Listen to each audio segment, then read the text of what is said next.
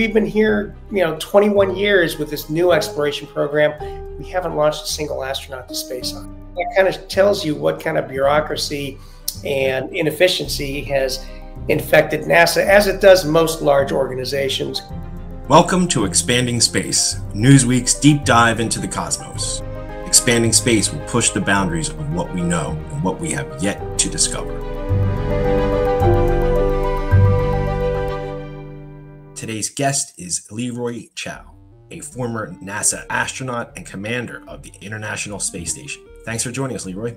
My pleasure. Great to be here. Dreams and aspirations are obviously a big part of space flight, and it's been a hot topic for months on people's minds. There's Elon Musk and President Trump has been speaking about Mars dating back to the campaign trail. How does that make you feel that there's this public ramped up talk about going to Mars again?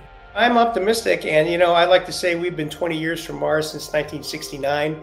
After Apollo 11, everyone was sure in 20 years, by 1989, we'd be have moon bases and we'd be on Mars and, and all that. And of course, none of that's happened, right? And when I applied to be an astronaut in 1989 and was fortunate to be interviewed, that was a very exciting time because President Bush 41 was uh, had proposed going to Mars by 2019 by the 50th anniversary of Apollo 11.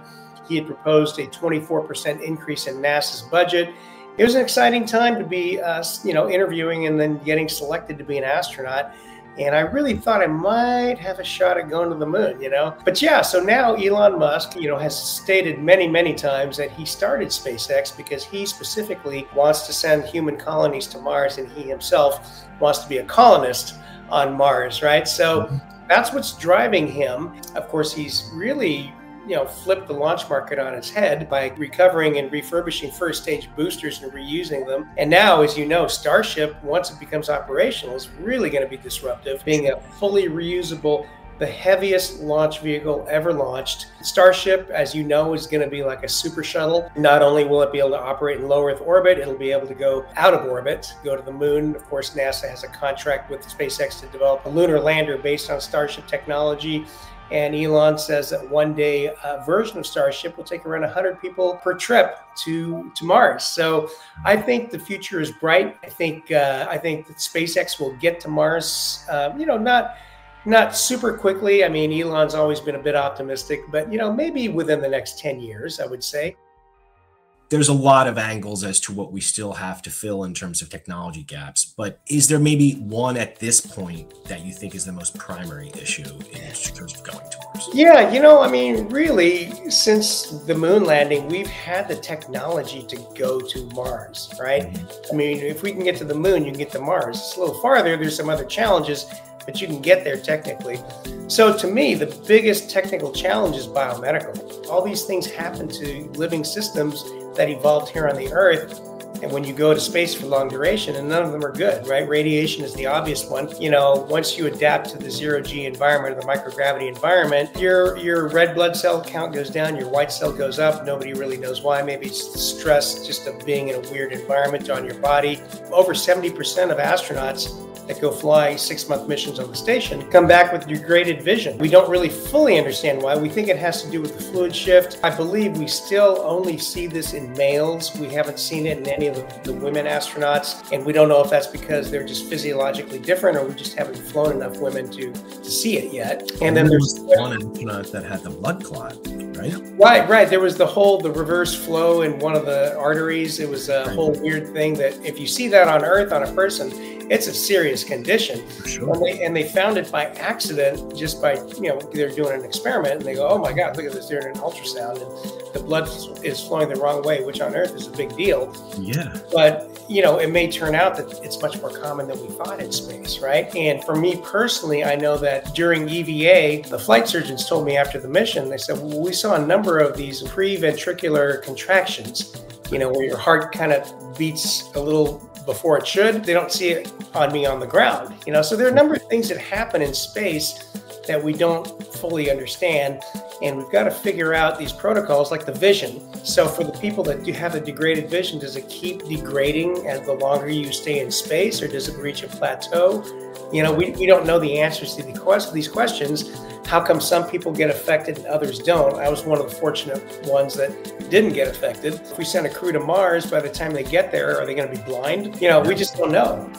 What would be the scientific value of pulling off a mission? You know, Mars is our next nearest neighbor, and two billion years ago, Mars was much more Earth like, had huge liquid oceans. The atmosphere was much thicker, had a different composition. So, you know, I think there's a pretty decent chance there used to be some kind of life on Mars. Maybe not animals and, you know, things like that, but maybe uh, microbial life at least, bacteria or some kind of simple microbes might have existed and might still exist because we've shown, we've discovered liquid water underneath the surface of Mars. So once you have water, um, it's possible that you have some kind of life as we understand it there. So I think it would be very exciting the thing about human crews, when you send humans, they're very adaptable, right? The Mars rovers have been fantastic. You know, they've been operating for decades now, and they've returned a wealth of data. It would be cool to send astronauts who can do exploration much more quickly than robotics and maybe find some definitive evidence that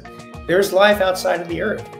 Seems like so much is on the near horizon. What excites you most about this next decade of space exploration. What excites me are companies like SpaceX and hopefully Blue Origin. They've just launched their New Glenn rocket a few months ago. They weren't able to catch the, the first stage like they'd hoped to do, but they'll get there. So, you know, SpaceX is doing incredible things, and hopefully Blue Origin will start to catch up and be going because it's always good to have more than one uh, provider, right? But you know, NASA is not the agency it used to be. Unfortunately, it's not even the agency it was during the shuttle era. You think about the history of NASA; it was created in the late 1950s. Just under 11 years later, NASA had created rockets, trained astronauts, you know, made launch pads, made mission control centers, launch control centers, figured all that out in just under 11 years, sent humans not only to space but to the surface of the moon and back. And now the current exploration program, which started in 2004, is Constellation got revamped in 2008, 2009 under President Obama, got revamped again under President Trump. Uh, you know, so we've been here, you know, 21 years with this new exploration program. We haven't launched a single astronaut to space on it, right? Yeah. So that kind of tells you what kind of bureaucracy and inefficiency has infected NASA, as it does most large organizations, commercial or government or private. I, I, hate to say it, I don't want to be uh, pessimistic, but you know, this current exploration program that NASA's running, we've got a throwaway rocket that NASA's own internal, you know, analyses show is over four billion uh, per launch if you you know factor in development costs, yeah. and you've got Starship, which is you know much, much, much an order of magnitude less than that. How can how can we continue down that path of government space, if you will? will. So, as I kind of touched on earlier, the ideal situation would be a partnering with NASA and a company like SpaceX or multiple companies where we can leverage because what NASA still does an excellent, the best job at is operations.